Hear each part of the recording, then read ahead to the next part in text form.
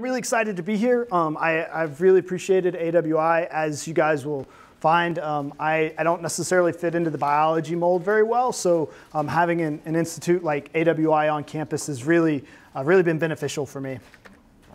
Um, so again, I, am going to introduce myself really quickly, um, talk a little bit about how I view the world, um, and then jump into some case studies, and hopefully uh, we get through all three and kind of share the exciting things my lab is up to. So I'm originally from Arkansas, uh, so moving back to Alabama was actually, uh, it's kind of like coming home, really excited about it. Besides, you know, rooting for the wrong football team, uh, it's been really great to be here. Um, my, my, my undergrad degree is actually in biosystems engineering. Um, my PhD uh, from Virginia Tech, that's what the, the Hokie is for, uh, was uh, also in biosystems engineering, but I focused on dissolved organic matter and nitrogen processing in floodplains there. Um, I went on to do a postdoc, um, and I'll talk a little bit about this work.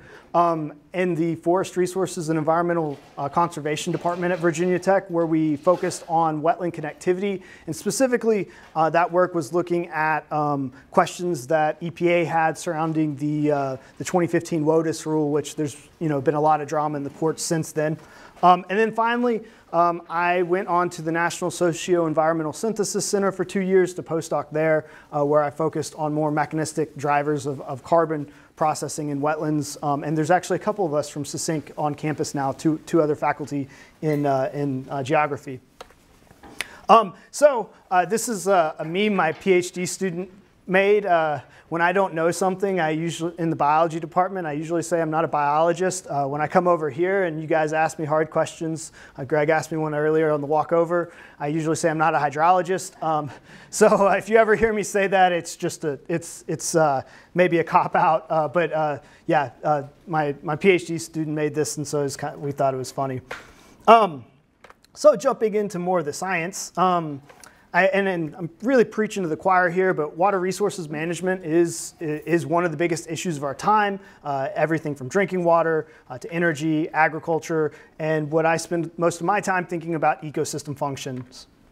Um, I uh, spent the first decade of my career focused on uh, upstream processes in the Chesapeake Bay region, um, and now I'm down here uh, working in and around the Mobile Bay. Um, so it, it's, it's actually been a really uh, nice transition, but the, the point here is um, everything we do on the landscape impacts these downstream waterways, and these waterways are really important.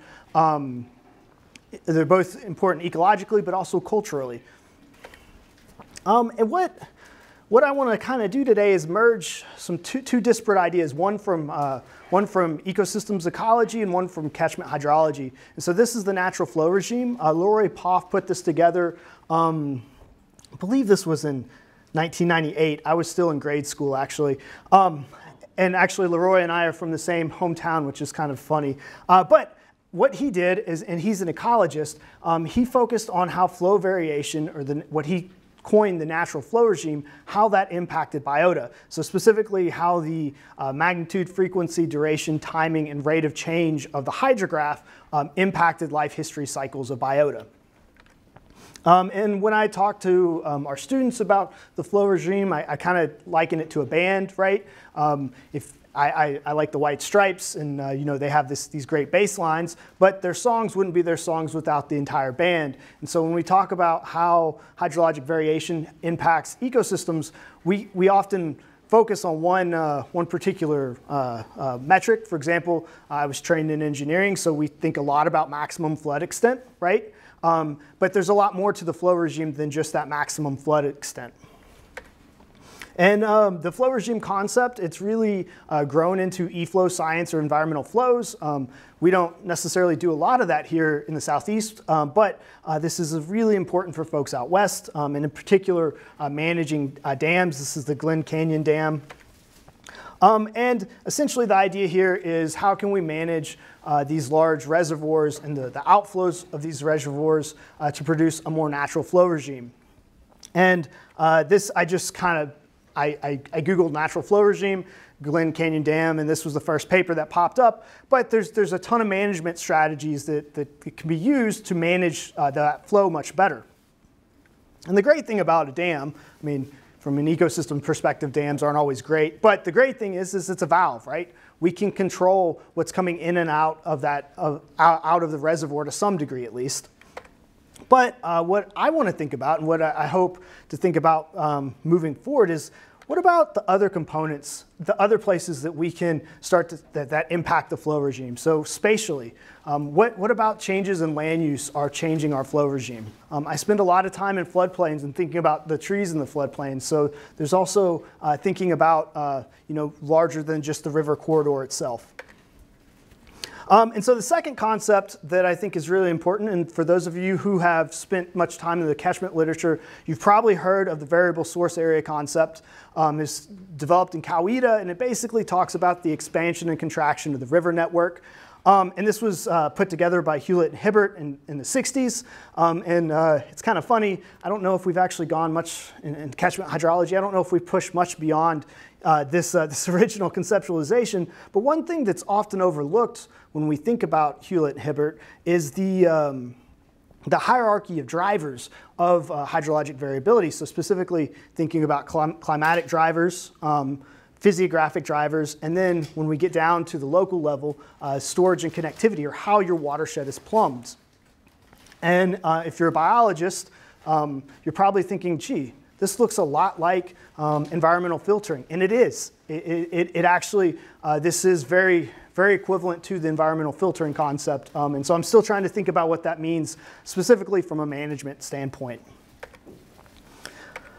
Um, so the fundamental questions that drive uh, my lab's work is can we develop predictive relationships between drivers of hydrologic variability and downstream function? Um, and then how do we use this information to better manage ecosystems? Because I can go collect all the data in the world, have a ton of fun doing it. You've probably seen me on Twitter. We spend a lot of time in the field. Uh, but if we're not collecting data uh, that's useful, then we're wasting time. Uh, and we don't want to do that.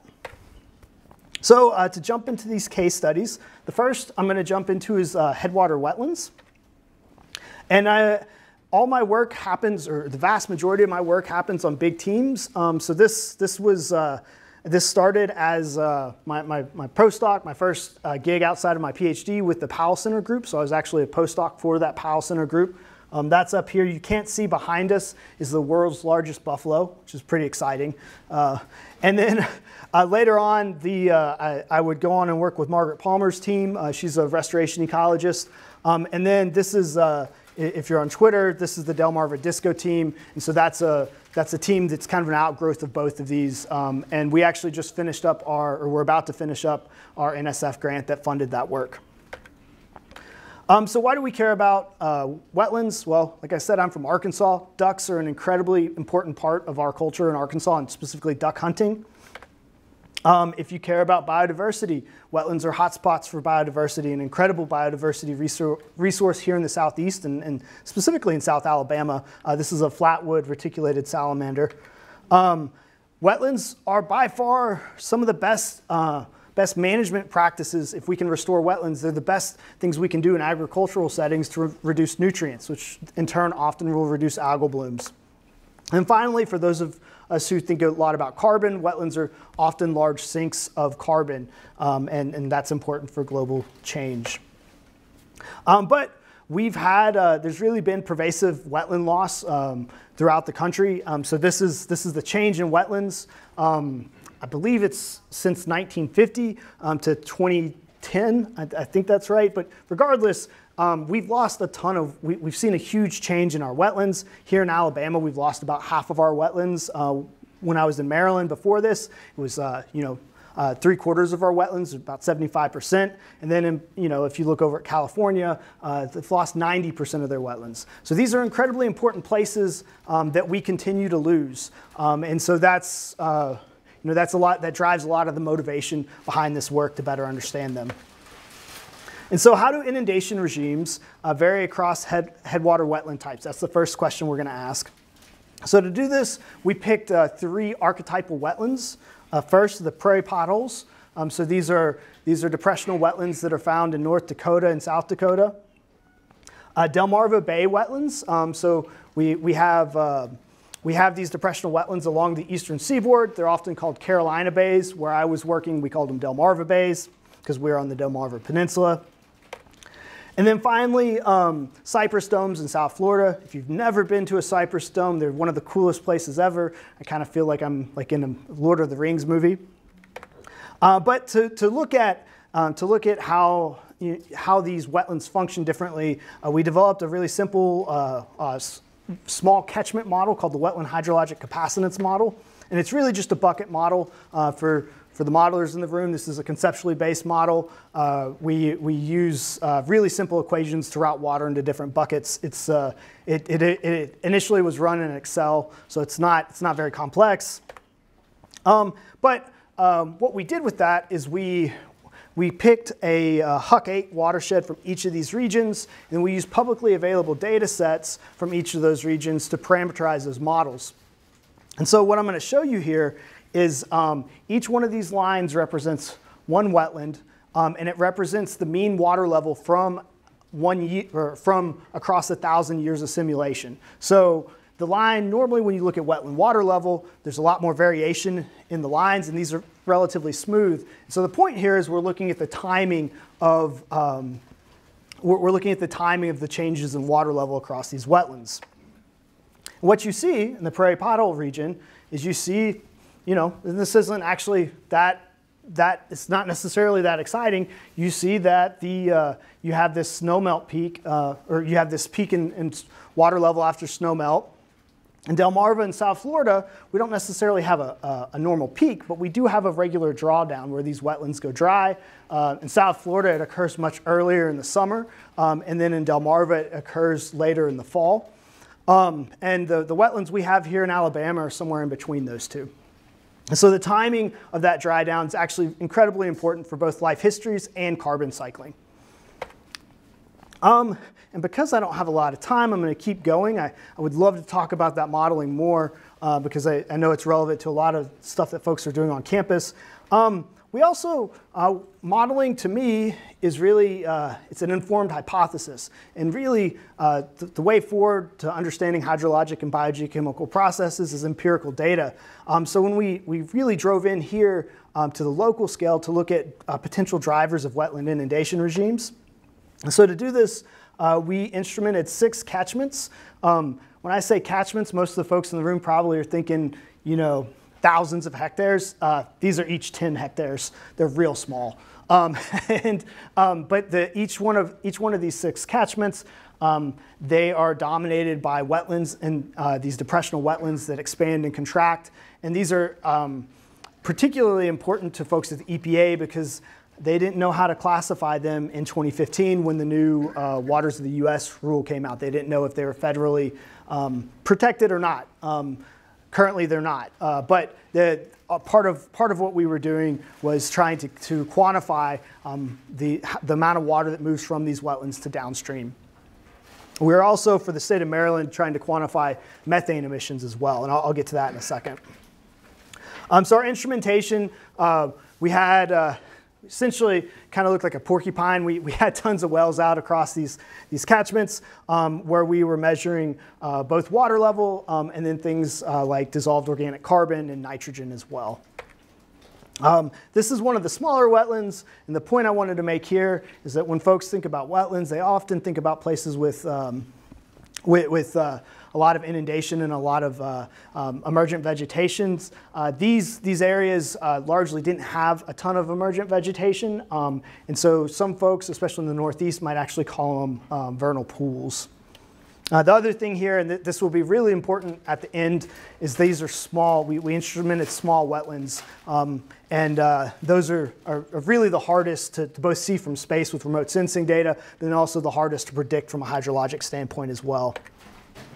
Um, so we had roughly 24 wetlands um, instrumented, and they all fell within this gray band. This is the water level in the middle of the wetland. Um, so they, they had these, this general seasonal pattern, um, but there was variability across. And what we did is we utilized that variability across the wetlands to look at drivers of the differences. Um, and one thing that's really important here is if um, a lot of the work we're doing is looking at the impacts of, down, of these wetlands on downstream waterways. Basically from the middle of January through most years in May, these wetlands are, are, are bleeding into downstream waterways, directly into ditches that then uh, feed perennial rivers.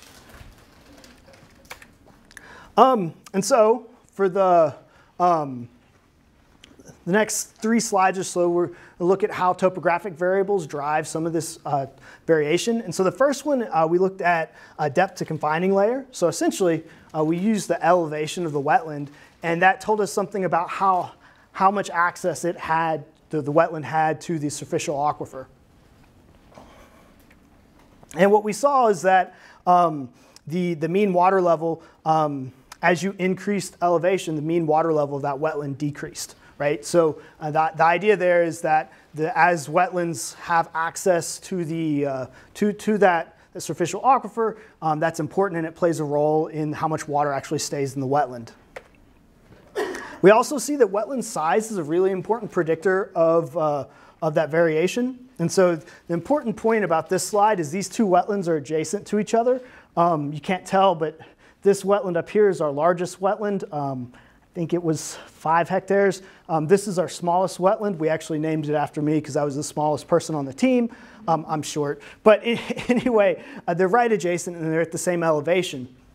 And so they make for a really good comparison. What you see is that the, the smaller wetland has much more dynamic water level. The, the larger wetland has a much more stable water level. And so the idea here is wetland size matters.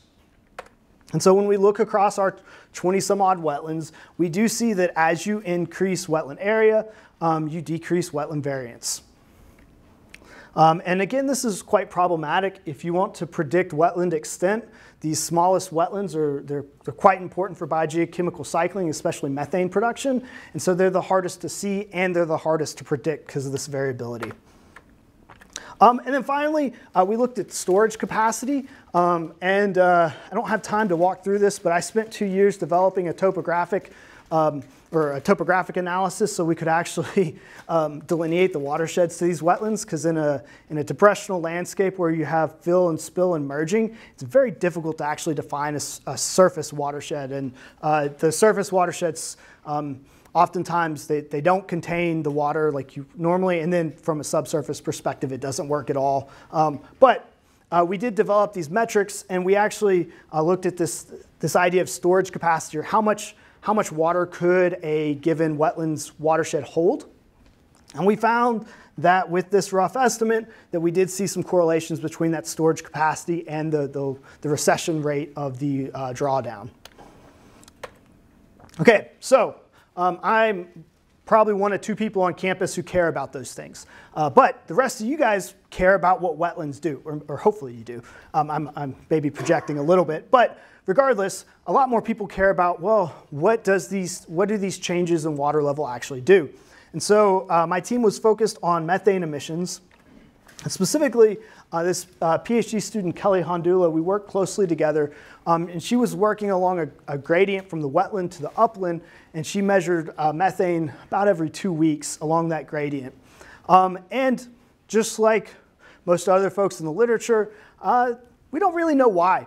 We, we don't have a really good understanding of the drivers of methane emissions. However, the only time that we saw marketable methane production, so above zero, was when the water level, when we had inundation.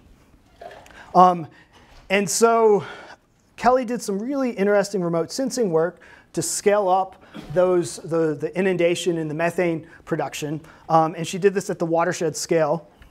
And so she used these, uh, little cube satellites. Um, oh gosh, I'm forgetting the name of the company. It's a private company. Um, and it, anyway, they, they have high temporal resolution high spatial and temporal resolution data from these CubeSats. Um, planet data, that's, that, that's the name. I actually have, have their socks on. They gave out socks last year at AGU. Um, anyway, planet data, we use their data to, to see these wetlands. And the thing that's important here is seeing through the trees is really difficult. So you have these really small wetlands and you're, you're looking through the trees uh, to see them and, and it, it's just, it's difficult. And so she had a deep learning approach and so uh, we use wetland water level to, to estimate inundation extent. And then this is what her model produced at our six training sites. And what you'll notice is the model didn't do really good in the shoulder season. Uh, once leaf out happened, uh, you really just can't see the wetlands. And so that's definitely a place for innovation uh, and continued innovation and potentially using other, um, other new uh, remote sensing products that are coming online. But regardless, and the point that, I've, that we really wanted to make is that she took her wetlands, or the wetlands that we were able to capture, and she um, she, she binned them by size, and what we did is we looked at what the methane emissions produced by each size class. Um, and she did this both looking at a time series and static area, and there's, there's important ramifications for that uh, from an Earth system modeling perspective. But what I want you guys to take away, these smallest wetlands produce way more methane. Um, and uh, you know, other studies have shown this, but this is, this is by far the, the most important thing that, that came out of, uh, of our group's work so far is just that how, how much methane these really small wetlands produce. Um, and so you may ask, okay, great, Nate, y'all went out, y'all measured all this stuff, maybe we can put it into a model, but how do we actually manage this? Well, in the Delmarva Peninsula, um, we're, we're, we're actually doing a lot of wetland restoration, and uh, there's different series of ditches that have gone in, everything from colonial ditches to ditches put in by the CCC to control malaria, and most recently agricultural ditches. And the way they do wetland restoration, or at least the first step, is they, uh, they dam the ditch. Like you just plug the ditch. And um, that changes the inundation regime pretty drastically, right? You go from no inundation to having a wetland uh, very quickly. Um, and whether that wetland is functioning or not is another question. Um, but that's that is what the current grant we're working on, and we, I'm working with three really killer students at Virginia Tech. And I don't want to take anything away from their dissertation topics, but um, they, they all have papers coming out in the next couple months, uh, so something to, to, keep an eye out on. Um, so let's jump into non-perennial streams. Um, so what is a non-perennial stream? It's kind of a funny term. Uh, the way our group talks about these is essentially any river uh, or, or, or, stream that goes dry on a regular basis is, is non-perennial. Um, and I'm working with two really awesome groups, the Dry Rivers RCN group, that's the group on the left. Um, it's a synthesis team that includes both hydrologists and ecologists. Um, in that group, I wear the hydrologist hat. And then I'm also working with the AIMS team, which is an NSF EPSCoR funded um, project. Um, it's it's uh, the primary institution is Kansas, um, but we're, we're one of, here at Alabama. Um, we have a, a spoke and hub model, and Alabama is actually one of the three hubs for the, the team.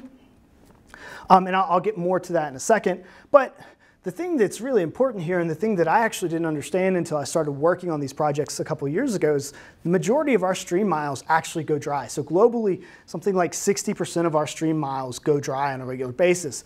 But the vast majority of our studies of, of, of streams have been in perennial reaches. So um, there's this huge data gap um, in, in, these areas. Um, and even here in Alabama, roughly, so Alabama is the wettest place I've lived. Maybe you guys have lived in wetter places. But even here in Alabama, 40% of our map stream network goes dry. And depending on how you define the stream network, it's probably a lot more.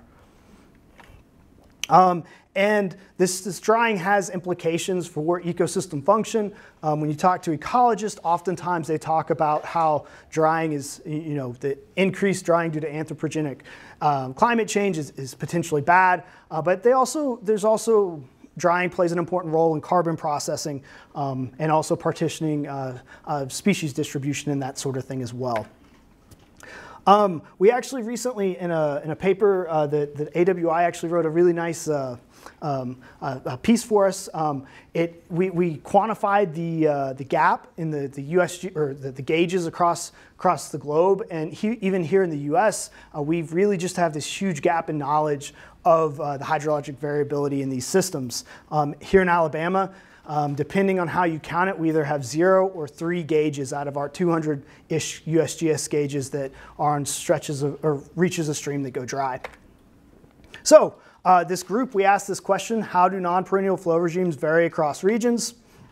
Uh, we answered this. Um, we, we developed a, uh, a, a, database of about 540 gauges. Um, we looked at the variation both at the annual scale and the uh, event scale. And so here we're looking at, at across the annual scale. And the important thing, the thing that you're going to want to pay attention to is the black line. So that's the no flow fraction or the, the percent of gauges that were dry. And you can kind of start to see some, uh, some seasonal variability there. Um, what's, I, I, think, the, the most striking is looking at Mediterranean California. I have a, a colleague I work with closely out there versus here in the East Coast, we have less, less gauges that go dry and they, they occur much later in the season. Um, so John Hammond, who's a scientist at the USGS, he took this and he started to look at drivers of, of that drying across, across uh, space, right? And so um, he found, um, you know, spatial coherence or spatial patterns um, were pretty common in these. So physiography is a big driver of the timing of drying. And then Sam Zipper from KU, um, who I work really closely with on the EPSCoR project, um, he used that same database and looked at how these, how these annual metrics are changing over time. And the, the big thing that's important here, the thing that everyone in this room should take away is here in the Southeast, stream drying is increasing. So this isn't, this isn't not only do we have a lot of streams that go dry, but the, the currents of this drying is occurring more. And then finally, Adam Price, um, who's a recent PhD grad, or he's actually defending uh, tomorrow, actually, or not tomorrow, on Monday. Um, he, he did an analysis where uh, he looked at the drying regime, or essentially looked at variation at the event scale. So these previous metrics, or these previous analyses, we were, we were thinking at the annual scale, but here he was looking at a single hydrograph. Uh, and really, from this database, he pulled roughly 25,000 hydrographs.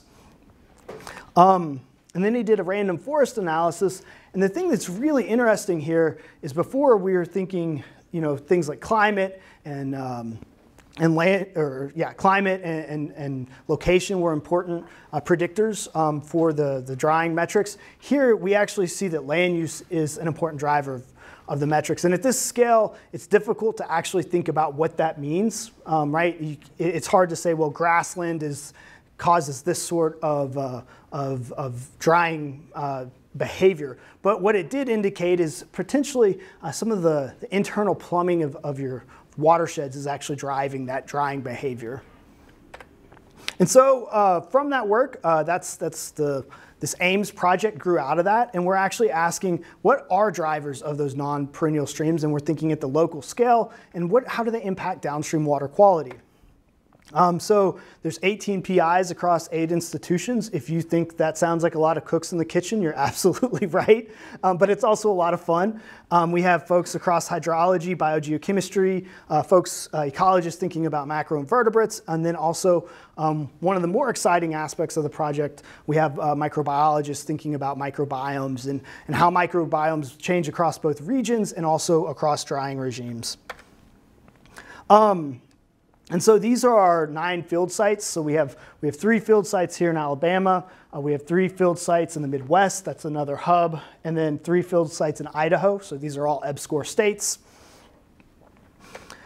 And each one of these research watersheds, we have a ton of instrumentation. At the watershed outlet, we have uh, a nest of, of, of sensors uh, that include everything from dissolved oxygen, nitrate, um, uh, yeah, just the, the whole suite of anything you could imagine to measure, we're, we're, likely measuring it. And then throughout the watershed, we also have pressure transducers and then binary water level loggers.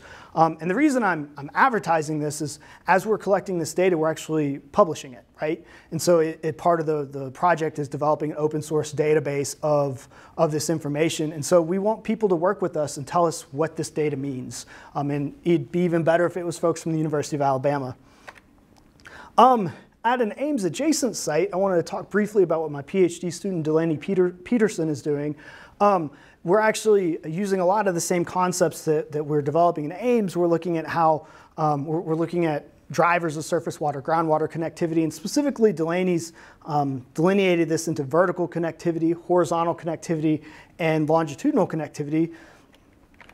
And uh, one of the really interesting things, and you've probably noticed this driving around out western Alabama, but we see incision is a huge, or is an important driver of the patterns of uh, the flow regime and drying. and so uh, specifically, we see these gullies and at Tanglewood, so this is all work being done at Tanglewood Biological Station, uh, which I might add, AWI funded quite a bit of this, so thank you guys.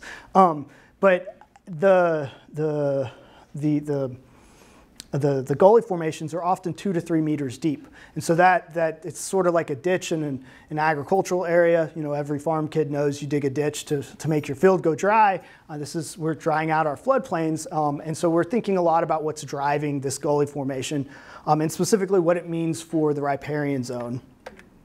Um, and so Delaney's got these hill slope wells, and so this is, uh, this is actual data where she's uh, got the, the, the, annual average water level. And the really important part here is that you see that in the gully, um, the, and, and, this holds through uh, throughout the year that the, the hill slope and the riparian area are a source of water to the stream. But when you go to an area where you have typical bed and banks or even a, a wetland area, um, the, the stream is actually a source often to the, to the riparian zone.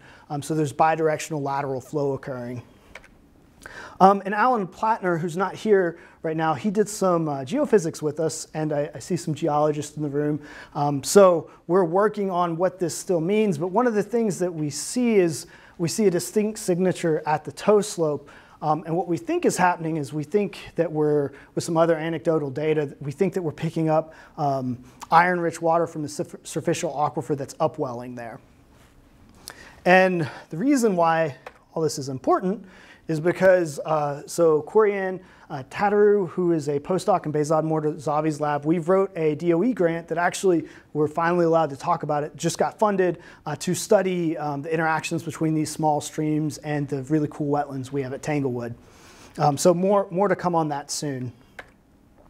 Um, and I think to give the, the second speaker time, I think I'm going to go ahead and skip my, my, my thoughts on floodplains, although I would love to talk to you guys about floodplains more.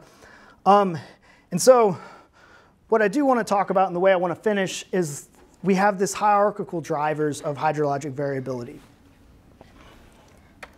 And of course, uh, just like anything else in science, it's, it's not one, unidirectional. We have bidirectional uh, flows between these, the, this hierarchy, right?